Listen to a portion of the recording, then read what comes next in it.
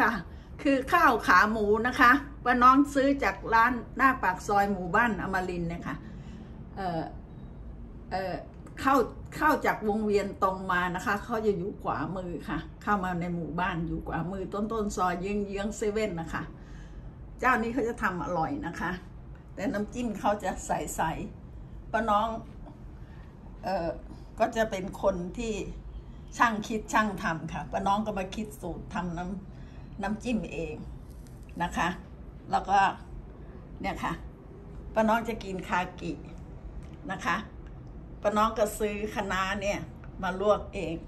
แล้วป้าน้องก็ต้มถั่วดิสงทั้งเปลือกนะคะ ต้องใช้ทั้งเปลือกนะคะ ต้ม ดูวิธีต้ม ตามป้าน้องนะคะ ใช้คากิคือส่วนเล็บของเขานะคะ เนี่ยเขาจะมีไอ วุ้นวุ้นเป็นพวกเจลเจนนะคะ แล้วก็ป้าน้องก็จะเพิ่มงาและพริกขี้หนู ช่วยให้เขาอร่อยขึ้นแล้วก็น่ากินค่ะ ดูดูน้ำจิ้มของเขานะคะ อย่างว่าล่ะค่ะเขาทำขายเขาก็จะทำง่าย ๆ แต่ป้าน้องทำกินเอง ฉะนั้นก็ต้องค่อนข้างเข้มข้นและเน้นประโยชน์ทางด้านโภชนาการนะคะ อันนี้จะแก้ไขข้อ ติดขัดค่ะ ข้อเข่าเสื่อมหรือ หรือพวกข้อมือเนี่ย นิ้วล็อกอะไรอะค่ะ ก็จะกินคากินะคะ เราไม่ใช้เนื้อมันมันนะคะ ใช้คากิมันจะมีเอ็นมีอะไรพวกนี้ค่ะ เป็นคล้ายๆไอ้เจลลี่เงี้ยค่ะ จะช่วยพะความยืดหยุ่นให้กับไขข้อค่ะ เห็นไหมคะป้าน้องอายุ 81จะเข้า82เดือนกรกฎาเนี่ยป้าน้องไม่มีปัญหานะคะ นอกจากอาหารแล้วการขึ้นลงบันไดก็สำคัญค่ะ เราพยายามขึ้นลงแบบปูไม่เดินหน้า เพราะไม่งั้นน้ำหนักตัวเนี่ย ไม่ให้น้ำหนักตัวเยอะนะคะ น้ำหนักตัวเยอะ แล้วเดินเอ่อไม่ตะแคงข้างแบบปูลงนะคะ ขึ้นลง นน้ำหนักก็จะไปกดที่เขา่าข้อเข่าก็จะเสื่อมป้าน้องไม่เคยมีปัญหาเรื่องข้อเข่าเลยนะคะ สบายค่ะ แล้วมันก็จะมีท่านั่งเก้าอี้ เอาหลังพิงพนักเก้าอี้ แล้วก็ยกยกเท้าขึ้นเสมอเข่าแล้วก็เออหงายฝ่าเท้าขึ้น ให้เป็นฉาก ได้ 90 องศาก็ดีค่ะ แล้วก็ค่อยค้างไว้ 5 นาที แล้วก็เอา เอาเท้าลง แล้วก็สับทำสับข้างกันค่ะทำทุกวันอย่างน้อยวันละ10หรือ20นาทีนะคะ นั่งเก้าอี้แล้วยกเขา่ายกขาขึ้นให้เป็นเส้นตรง อยู่ในระดับเดียวกันของเข่านะคะ แล้วก็งายฝ่าเท้าขึ้นมาหาตัว แล้วก็นับหนึ่งถึงห้าถึงสิบค่ะ แล้วค่อยๆลงทำอย่างเงี้ยค่ะ อย่างน้อยวันละสิบยี่สิบนาที หรือสามสิบนาทีก็ได้ค่ะทำทุกวันจะไม่มีปัญหาเรื่องข้อเข่าเลยนะคะ มือก็กำกำแบบแบแต่ต้องไม่ใช่กำเฉยๆนะคะ ต้องออกแรงเนี่ยมือค่ะ เวลาจะกำเนี่ยต้องออกแรง แล้วก็แบกำแบกำแบไม่ใช่อย่างนี้นะคะ อย่างนี้ผิดนะคะ มันจะไม่ไม่เกิดการออกกำลังกายค่ะ เชื่อป้าน้องนะคะ จะได้มีสุขภาพร่างกายแข็งแรงป้าน้องไม่ขออะไรหรอกค่ะ จะอยู่อายุเท่าไหร่ไม่ว่าค่ะ ขอให้มีสุขภาพร่างกายแข็งแรง เออไม่ไม่เจ็บป่วยอดอดแอดแอดนะคะ แล้วก็ไม่เป็นภาระกับผู้ที่อยู่เบื้องหลังนะคะ อธิษฐานทุกครั้งที่ทำบุญหรือสวดมนต์ค่ะ ตอนนี้ป้าน้องก็พยายาม ออกกำลังกายและกินอาหารที่มีประโยชน์ คุณสังเกตดูนะคะ อาหารแต่ละอย่างเนี่ยเขามีประโยชน์ แต่ถ้าเผื่อคนไม่ทราบเนี่ย ก็กินไปตามเรื่องตามราว ถ้าเผื่อคุณกินขาหมูเนี่ย ก็กินได้ค่ะไม่ว่าอะไรเห็นไหมคะ แต่ป้าน้องก็จะเพิ่มผัก เพิ่มถั่วลิสงต้ม แล้วก็ทำน้ำจิ้มใหม่ แล้วก็กินกระเทียมเยอะ ๆ ค่ะ เนี่ยค่ะ มันก็ให้คุณค่าทางโภชนาการนะคะ แต่อย่ากินบ่อยนะคะ นานๆกินทีค่ะ ขอได้รับความขอบคุณจากป้าน้องค่ะ ขาหมูนะคะ หน้าปากซอยเขามีอร่อยอยู่เจ้าหนึ่งค่ะ ในหมู่บ้านอมรินเนี่ย ไปสายก็อดนะคะ นี่ต้องสั่งเขาไว้ป้าน้องจะกินคากิ ตอนนี้การที่เราจะกินขาหมูเนี่ย กินแล้วไม่ให้เป็นโทษกับร่างกายแล้วแต่กลับกลายเป็นว่าเป็นยานะคะเออช่วยให้ไขข้อดีนะคะป้าน้องก็จะสั่งคากิ แล้วก็ไปเอาถั่วลิสงเนี่ยค่ะ มาล้างน้ำล้างน้ำสักสองสามน้ำแล้วก็แช่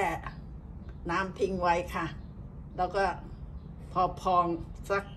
ครึ่งชั่วโมง พอพองแล้วก็ เททิ้งแล้วก็น้ำใส่แช่อีกนะคะ เดี๋ยวจะเอาไปต้มค่ะถั่วลิสงพองป้าน้องก็จะเอาเอาถั่วขึ้นมาใส่หม้อแล้วก็ใส่ช้อนใส่น้ำเอ่อท่วมนะคะ เลยถั่วลิสง แล้วก็เอาช้อนสเตนเลสใส่ไปคันหนึ่งเขาจะช่วยให้ความร้อนเนี่ยเอ่อสูงขึ้นแล้วก็สุกหรือเปื่อยเร็วขึ้นค่ะ ก็ต้มไปนะคะ ก็เดี๋ยวก็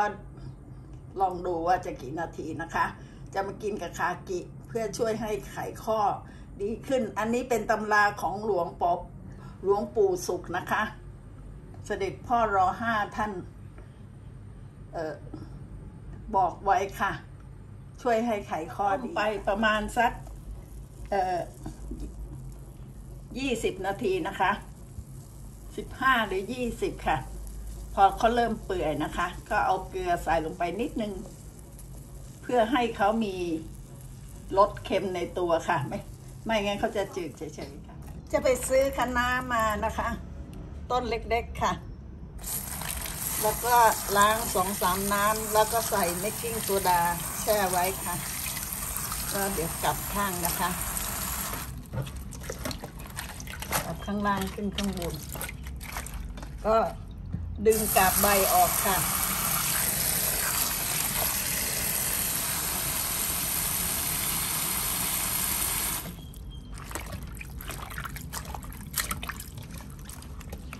เอาข้างล่างขึ้นข้างบนนะคะ ดึงกากใบออก เขาจะได้ล้างได้เกลี้ยงๆนะคะ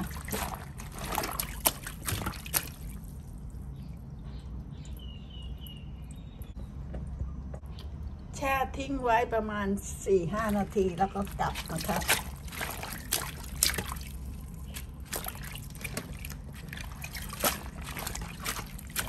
มีน้ำใบลังจืดก็ใช้น้ำใบลังจืดค่ะ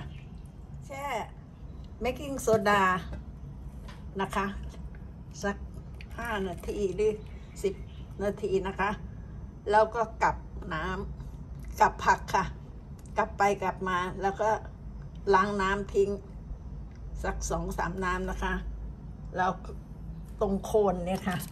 เขาจะมีส่วนแก่นะคะ ก็มาลอกออก แล้วตรงใบเนี่ยเราก็ตัดโคนด้านหลังเนี่ยนะคะ แล้วก็ลอกมาเห็นไหมคะเขาก็จะเอาเยื่อ ตรงแก่ๆออกไปค่ะเนี่ยเดี๋ยวเดี๋ยวเราก็จะนำไปลวกใส่กระทะนะคะ ต้มพอ น้ำเดือดนะคะ เราใส่เกลือไปหยิบมือหนึ่ง แล้วเดี๋ยวเอาผักลงลวกค่ะ ลวกเสร็จแล้วมันน็อกน้ำนะคะ เขาจะได้เขียวยากกว่าใบนะคะ เอาต้น เอาต้นคะน้าเนี่ยลงลวกก่อนนะคะ เดี๋ยวค่อยเอาใบพอ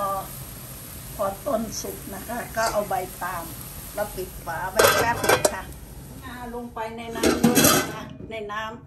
ำแล้วก็มาน็อกน้ำเย็นค่ะ เขาผักเขาจะได้แวววาวสวยค่ะ ตลาดอย่าลืมนะคะ ล้างสองสามน้ำแล้วใส่เมกกิ้งโซดา หรือล้างจืดแช่ไว้ค่ะ แช่แล้วก็ที่กลับไปกลับมานะคะ เพราะเขาฉีดยาฆ่าแมลงพ่นค่ะป้าน้องถึงไม่ค่อยชอบกินอาหารนอกบ้าน เรากินในบ้านเนี่ยะอาดและปลอดภัยแน่นอน อย่างเวลาซื้อพริกไอ้มาเนี่ยป้าน้องจะต้องล้างอย่างเงี้ยทุกครั้งเลยล่ะค่ะ เคยมีพระในหมู่บ้านเนี่ยท่านบอกว่าฉันอาหารบ้านไหนก็ไม่ไม่ไม่แน่ใจ เพราะว่าอาหารบ้านป้าน้องน่ะสะอาดถูกหลักอนามัย แล้วก็ครบ อาหารสารอาหารครบตามหลักโภชนาการแน่นอนค่ะเนี่ยป้าน้องก็จะแช่เบกกิ้งโซดาทิ้งไว้สักห้านาทีหรือสิคะเนี่ยขนาดล้างเฉยๆน้ำยังออกมาขุ่นเลยนะคะ นี่แหละค่ะเเครื่องน้ำจิ้มขาหมูของป้าน้องนะคะ ใช้พริกอ่อนสีแดงเขาจะได้ไม่เผ็ดมากนะคะพริกชี้ฟ้า แล้วก็พริกจินดากระเทียมแล้วก็ สามเกลือค่ะรากกระเทียมผักชีพริกไทยนะคะ จะใส่พริกขี้หนูสวนเพิ่มสักเม็ดหนึ่งก็ได้ค่ะ เขาจะได้มีรสเท่ากระเทียมบุกนะคะเทียมบุกพอพอหยาบหยาบนะคะ เอาพริกชี้ฟ้าแดงลงตำหยาบหยาบอย่าให้เลยขี้หนูลงตำค่ะ ใส่สามเกลือด้วยค่ะตำหยาบหยาบค่ะเอ่อ กระเทียมพริกตำหยาบหยาบๆนะคะ บีบมะนาวราดนะคะ เพราะว่ามันมีพริกชี้ฟ้าแดงอยู่ค่ะ ไม่งั้นเขาจะมีกลิ่นเหม็นเขียวนะคะบีบมะนาวราดทิ้งไว้ อันนี้คือเคล็ดลับนะคะ มีคนที่เขาขายอาหารเขาเคยมากินกับข้าวที่ป้าน้องทำแล้วเขาถามป้าน้องว่าทำไมทำไมไอ้ พริกน้ำส้มที่ใส่ก๋วยเตี๋ยวป้าน้องอร่อยป้าน้องถามว่าเขาทำยังไง เขาบอกว่าเขาก็ตำพริก แล้วก็ใส่น้ำส้มสายชู บอกมันจะอร่อยได้ไงป้าน้องจะใส่กระเทียมใส่สามเกลอแล้วก็ตำพริกหยาบๆ แล้วก็บีบมะนาวราด แล้วเดี๋ยวก็จะเอาน้ำส้มแอปเปิลมาใส่ค่ะ อันนี้เพื่อดับกลิ่นเออ ปรี้ยวของของพริกชี้ฟ้านะคะ เนี่ยเราก็ราดคลุกทิ้งไว้สักห้านาทีหรือสิบนาที อันนี้คือเคล็ดลับค่ะ คนที่ทำทำนะคะป้าน้องจะเห็นว่าพอนั่นเขาก็ใส่เกลือใส่ น้ำปลาไปเลยเนะี่ย อันนั้นเขาจะไม่หอมนะคะ อันนี้จะหอมป้าน้องเคยไปทำไปไปเป็นหัวหน้าฝ่ายโภชนาการที่โรงพยาบาลพระศรีมหาโพธิ์ค่ะป้าน้องเป็นนักโภชนาการค่ะ หมอหมอพยาบาลเจ้าหน้าที่อะถามบอกว่าทำไมเดี๋ยวนี้อาหารทุกอย่างเนี่ยมันอร่อยขึ้น แม้แต่น้ำปลาพริกก็อร่อย คนงานเขาบอกว่า ลูกน้องป้าน้องบอกบอกว่า เออหัวหน้าสอนพวกหนูทำ ว่าให้บีบมะนาวราดแล้วคลุกทิ้งไว้เขาบอกหัวหน้าเธอ สวยแต่งตัวก็สวยเดินก็ยังกับนางแบบ จะจะเก่งอะไรนักหนาเขาบอกอ้าวหัวหน้าหนูเก่งจริง ๆ นะคะก็ที่พวกคุณทานทั้งหลายแหละแล้ว พวกคุณออกปากว่า มันอร่อยกับข้าวทุกอย่างอร่อยแม้แต่น้ำปลาพริกก็อร่อยเนี่ย ก็เพราะหัวหน้าหนูสอนนี่แหละค่ะ หัวหน้าให้เคล็ดลับต่างๆ พวกหนูมากมาย แล้วหนูก็ทำตามหัวหน้า แล้วมันก็อร่อยจริง ๆ เห็นไหมคะ แล้วเราก็ตักมาหมักแล้วก็ตักมาไว้นะคะ แล้วก็เอาเกลือเนี่ยใส่คกนะคะ เอาลูกสาลูกคกเนี่ยค่อยๆตำเกลือให้ละเอียด แล้วใส่น้ำตาลทรายแดงเข้าไปนิดนึงค่ะ เพิ่มรสหวานนะคะ ไม่ต้องใส่เยอะนะคะ นี่เราใส่เอเกลือน้ำตาล แล้วก็น้ำส้มสายชูนะคะ แล้วตอนนี้ก็ตักมาผสมกับพริกที่บีบมะนาวราดไว้ค่ะ เขาก็จะได้น้ำจิ้มที่อร่อยค่ะ